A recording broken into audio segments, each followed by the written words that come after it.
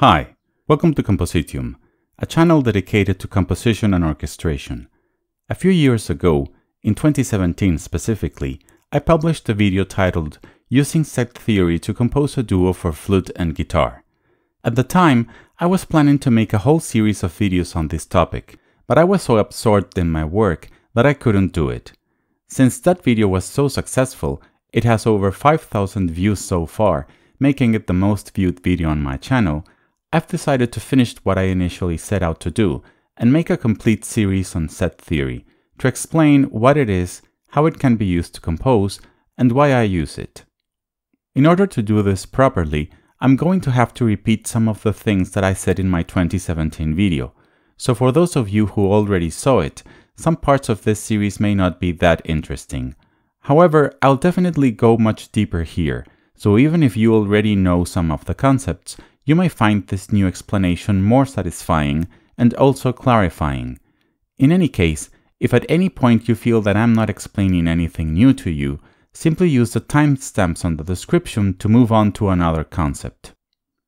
Let's start by explaining what set theory is and what it was developed for. Set theory is a methodology used in post-tonal music analysis. It offers various ways of categorizing musical objects known as sets and describing their relationships, making use of operations from set theory used in mathematics. Sets differ from other musical concepts, such as scales and chords, in that their components don't have to occur simultaneously or in a specific order. They are also not restricted to having a number of components. A set can have only one element, for example, or even none. The concepts of set theory are very general and can be applied to both tonal and atonal music, in any tempered tuning system. Many of those concepts were initially elaborated by Howard Hanson in relation to tonal music, and were later extended to atonal music by theorists such as Allen Forte. Almost simultaneously with Forte, the American composer Elliott Carter developed a catalog of all possible note combinations from 2 to 8 notes, which is distributed today under the title Harmony Book. Unlike Forte, Carter called his groupings chords rather than sets. On the other hand, while Forte developed a theory for analysis full of mathematical formulas and statistical processes, Carter created his catalog to help him compose, writing the sets one by one and then developing forms of building each by adding others as well as deconstructing them into smaller sets. In the end, Carter decided that the use of his catalog was too tedious and limited himself to using only a few sets, with which he wrote many of his late works. Now, let's move on to define the basic concepts of this theory. Let's start with pitch class. The term pitch class, or simply PC, is a generic way of referring to the pitches of a given tuning system. It differs from the usual term note in that a pitch class doesn't correspond to a specific frequency, while our 12 note tempered system has more or less 88 usable notes, the 88 keys on a piano, it has only 12 PCs, C, C sharp, D, etc. Then the pitch class A represents all the pitches associated with the note A, so the pitches A2, A4, and A8 all belong to pitch class A. However, in set theory we don't use letters but numbers, from 0 to 11, where 0 is C and 11 is B. Since the numbers used to form sets are limited to the universe of 12 PCs of the chromatic scale, represented by the integers from 0 to 11, the mathematical operations with PC sets must be carried out by means of modular arithmetic. Therefore, the result of every operation must be modulo 12, or mod 12. This means that if the result is equal to or greater than 12, it must be replaced by the remainder left from dividing the number by 12. This can be seen in a simpler way by imagining the integers from 0 to 11 in a circle. The 0 would then occupy the position of 12, 13 would be equivalent to 1, 14 to 2, 15 to 3, etc., just as in the 12-hour time system. A set is a collection of different pitch classes and is enclosed in square brackets rather than with braces as is done in mathematics, with its components separated by commas, for example 0, 1, 2. If the elements of a set are written in a certain way, it can also be called a pitch class set, or simply PC set. Here, the word class has the same meaning as that given in the definition for pitch class. A PC set represents all the combinations of PCs that are reducible to the same sequence of integers by inversion and or transposition. This way of writing a PC set is known as the prime form, and I will discuss that in a moment. One way to understand this is to make an analogy with a musical concept that you know very well, the major chord. The term major chord is a generic concept, applying to three notes that follow a specific formula. This is our equivalent of a pitch class set. When we apply the formula for a major chord to a note, we get a specific chord, say F major, the equivalent of a plain set in our analogy. So a pitch class set would be like some kind of generic construct that represents all the different combinations of pitch classes in which the relationships between them are the same as in that construct. The difference, however, is that PC sets are written as specific groups of PCs, not defined in terms of the intervals between them. It would be like using the C major chord with its three notes, C, E, and G, to represent all major chords. It would be the prototype of all of them, and one of them at the same time. Now you can understand what a pitch class set is.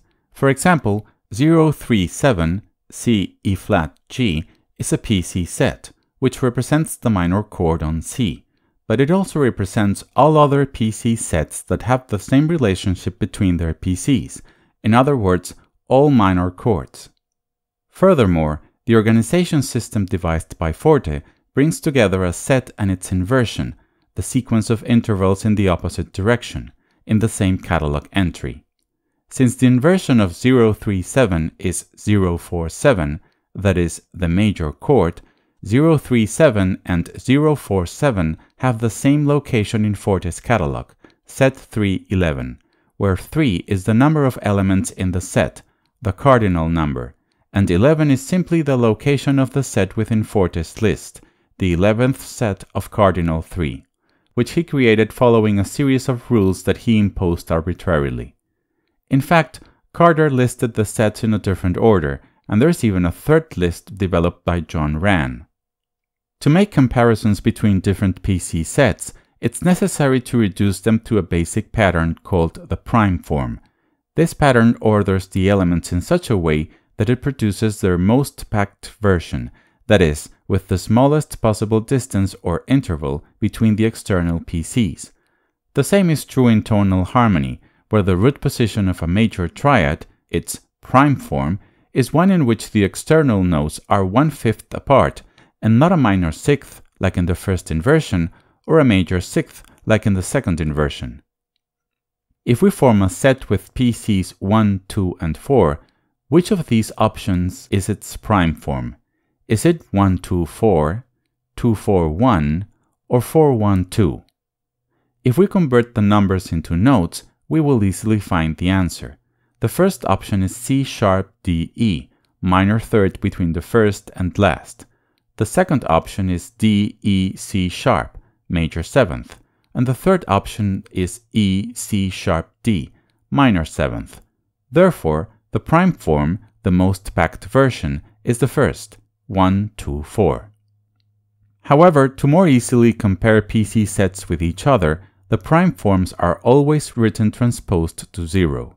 In other words, the first number is subtracted from all the elements so that the set starts with the number 0.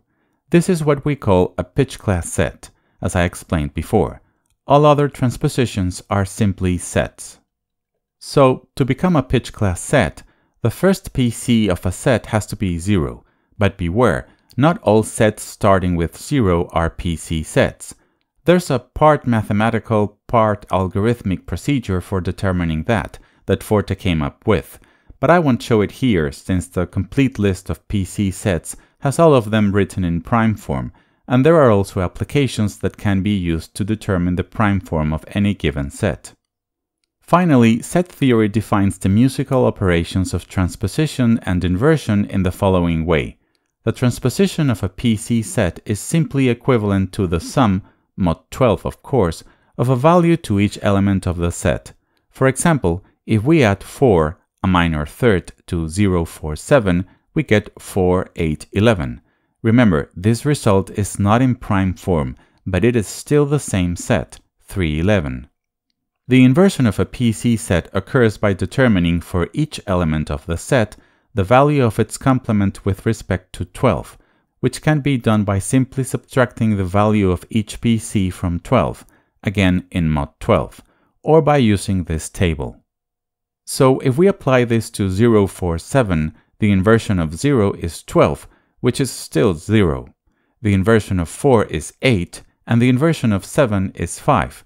The final result is then 580, in other words, the F minor chord, which is exactly what we should obtain. That's all for now. In my next video we will look at other important concepts of this theory, such as the interval vector and the z-relation.